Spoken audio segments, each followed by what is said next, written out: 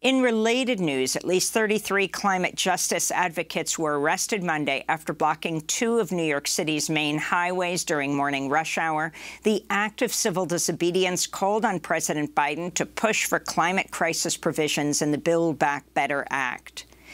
In Spain, climate justice activists with Extinction Rebellion also held a protest Monday in central Madrid, demanding world leaders enact stronger action against the climate crisis. Protesters blocked traffic and chained themselves to barrels.